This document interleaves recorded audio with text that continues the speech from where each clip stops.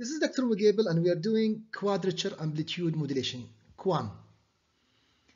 In this lecture we're going to go over the basic definition of what QAM is, then we'll go into how to modulate, how to demodulate, and then we'll study the case of phase and frequency mismatch, and we'll conclude with listing the advantages and disadvantages of QAM or QAM. Now, what is quadrature amplitude modulation? Remember that in double sideband suppressed carrier, or even in AM, when we modulate the signal, it occupies double the bandwidth. And this is why we call them double sideband suppressed carrier and double sideband plus carrier. So the bandwidth of double that of the baseband signal. Now, of course, doubling the bandwidth means we are going to consume more bandwidth. So the question we pose, is it possible to send two signals over the same band, one modulated with a cosine and another one is, is modulated with sine? Interestingly enough, we will find out if we multiply one by cosine or modulate one with cosine and the other one with sine, we will be able to recover the two signals separately, although they occupy the same bandwidth. The reason is that the cosine and sine are orthogonal, they are quadrature, they are 90 degree in phase to each other. So we'll see, we'll try to prove this. If we can get the signal back, then we call this uh, advantage because we are sending two signals at the same bandwidth. So the following circuit will help us to uh, to find out whether QAM is possible, whether quadrature modulation is possible or not. Although it looks very busy, by the end of the presentation you will be able to draw everything here. So let's focus here. In the upper branch, so let's split the diagram first. What you see on the left side here is the transmitter side, is the modulator. And what we see here in the right hand side is the demodulator. And the reason I am, put them to, I'm putting them together is to give you a full picture of what's going on. So the green branch and the blue branch. The green branch is for the first message, M1, and it gets modulated by the carrier cosine omega ct. The result is a multiplication M1 times cosine. In the lower branch, we have M2 multiplied by, now the carrier is going to be phase shifted by minus pi over 2, which makes the carrier sine. And then after the multiplication, we get M2 times sine omega ct. If we add them together, we get what we call the quadrature amplitude modulated signal. So in general, the QAM signal is M1 times cosine plus M2 times sine.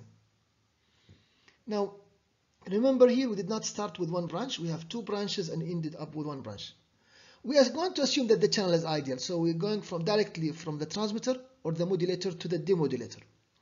Let's see how we get we get uh, we get into two branches. Let's see whether we can recover the messages separately or not. So in the other branch, I will take the entire QAM signal and I'm going to multiply by cosine. So multiplying by cosine, you get here m cosine squared plus m2 times sine times cosine. Using trigonometry, the m the cosine square will be 1 half times uh, 1 plus cosine double the angle, while the sine times cosine will be sine double the angle. So we have three terms. Now those terms are distinguished in terms of frequency. This is the baseband. This is shifted to 2 omega c. And this one is shifted to 2 omega c.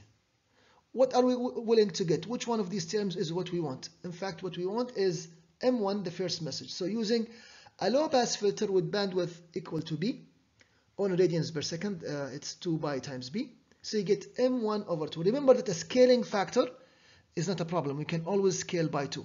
We can use an amplifier. In the lower branch, the same QAM signal is going to go to the lower branch, but we're going to demodulate with the proper language, which is the sine. So the carrier is now being shifted to sine by minus pi over 2 uh, degrees, or radians, radians, and which is equivalent to 90 degrees. So if you multiply, you get now, everything will be multiplied by sine, so you have cosine sine and sine squared. Now we'll use the other trigonometric functions, cosine times sine is sine double the angle. Sine squared is 1 half minus m2 times cosine. Again, we have a baseband term, we have two terms which are uh, at high frequency. So using a band a low pass filter, we'll pick M2. So we have shown here that although we are sending two signals shifted to the same carrier frequency omega c, but one with cosine, another with sine, we were able to distinguish them. And that's the beauty of the QAM signal. So the basic function of QAM, sending two signals, one with mediated with, with cosine, another with sine, and we were able to recover them. Now we'll focus on the demodulation in the presence of phase and frequency mismatch. We mean by phase and frequency mismatch is, as you can see here, that there is an error in finding the frequency and there is an error in the phase. So we have we show the red part delta omega and we show the blue part as the mismatch here. Now at the transmitter side we have the same two things. We have one branch M1 multiplied by cosine, M2 multiplied by sine and the sum is our QAM signal. At the receiver side now if you multiply there is a factor of delta omega and plus theta. So if you multiply by this term we get a much bigger term here. Then we use uh, a we use trigonometric function cosine sum, cosine difference, cosine times sine, and we come up with the following full expressions for different terms. Two of their two of those terms are baseband, while one and, and the other two are around 2 omega c. So after the low pass filter, what remains is just the baseband terms. So we got the following expression. I will zoom in later on to, to get these expressions. Similarly, we'll do in the lower branch, but we're going to multiply by sine, and there is a frequency mismatch and phase mismatch. This is going to be multiplied by the QM incoming signal, and we'll get, after the multiplication, we get the following terms. Okay, we're multiplying by sine. So now we open the brackets, sine times sine, sine times cosine. We use the trigonometric functions, identities, and we can expand this into four different terms. Again, two terms are at baseband and two terms at high frequency. At the output of the low pass filter, what remains is the baseband terms. The other terms will cancel out. So the summary of this analysis, we're saying if there is a phase and frequency mismatch, both of them at the same time, we got the following outcomes.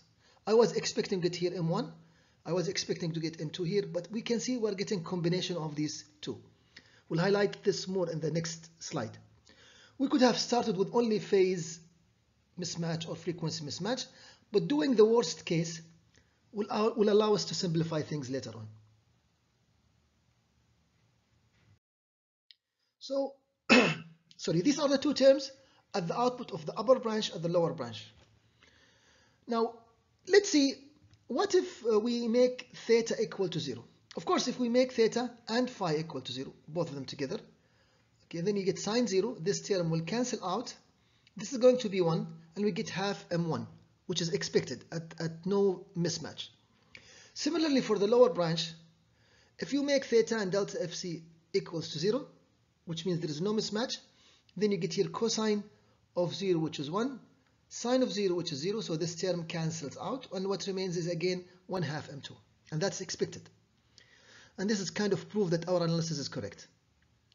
Now let's take one at a time. What if there is frequency mismatch error, but there is uh, no phase error? So we make the blue part, which is theta, equal to zero. The two expressions will reduce to the following. Now we're going to consider the other case where the frequency mismatch is zero and there is phase mismatch. In that case, the two expressions look like this. So those four expressions are coming from this general case. One case is the case of frequency mismatch, and this is the case of phase mismatch. Now, if somebody asks, which is worse, to have frequency mismatch or phase mismatch? Assuming, of course, the amount of mismatch is, is comparable. Well, uh, if you look at the received signal here, you are going to get your signal scaled, and there is a contribution, there is interference from the other channel. There is co-channel interference. Similarly here. But here we have time varying interference because of the presence of T. The message will be modulated at low frequency. And also I will get a modulated version of the second signal, which means the amplitude will be going up, down, up, down. However, here what we get is just constant scale factor for the message of interest and constant scale factor times the other message. So the it, it, we might assume that frequency mismatch is worse when it comes to frequency uh, or time dependence. So this is time varying cochannel interference because of the presence of time. In the second case, there is no time. There is co co interference, but it's a constant value. So because this is just assume the phase is just a constant value. There is no time explicit there. So in this slide, we have summarized the two scenarios having frequency and or phase mismatch. Now let's look at the advantages and disadvantages of QM. Advantage and disadvantage of QM. The positive part, the advantage, we have bandwidth efficiency. We can transmit two signals, each of bandwidth B at a bandwidth of 2B. Uh, unfortunate, of course, we're going back to the coherent demodulation requirement. And we need exact phase and exact frequency. We have just seen what happens if you have frequency or phase mismatch. In fact, we, we are we are we're sending two signals and the difference between them is a phase. One is cosine, one is sine. So we cannot tolerate having uh, error in, in, the, in the phase or frequency. Now, these are some informations. Did you know that the cosine term is known as the in-phase component, I component, and the sine is termed the quadrature component.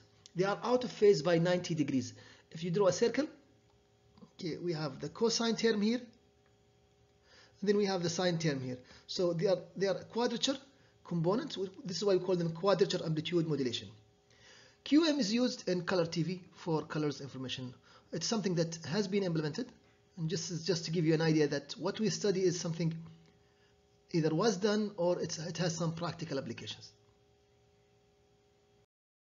Now we can conclude our, our, our um, lecture with a, a MATLAB demo.